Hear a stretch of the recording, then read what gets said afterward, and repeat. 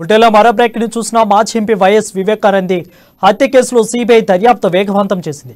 MP Avinash Reddy తండ్రి YS Bhaskar రెడ్డిని arrest చేసిన అధికారులు ఆయనను కట్టుదిట్టమైన భద్రత మధ్య పులివెందుల నుంచి హైదరాబాద్కు తీసుకొచ్చారు. సిబిఐ కాన్వాయ్ కొద్దిసేపటి కిందమే హైదరాబాద్ చేరుకుంది. భాస్కర్ రెడ్డి న్యాయవాది ఎదుట హాజరుపరచమన్నారు. ఈ నేపథ్యంలో వైద్య పరీక్ష నిమిత్తం భాస్కర్ రెడ్డిని ఉస్మానియా ఆసుపత్రికి తరలించారు.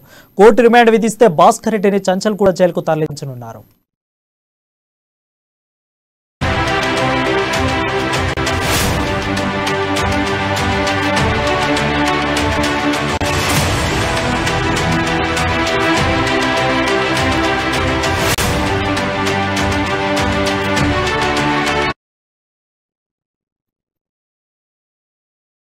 బ్రేకింగ్ చూసిన మాజీ ఎంపీ వైఎస్ వివేకానందరెడ్డి హత్య కేసులో సిబిఐ దర్యాప్తు వేగవంతం చేసింది.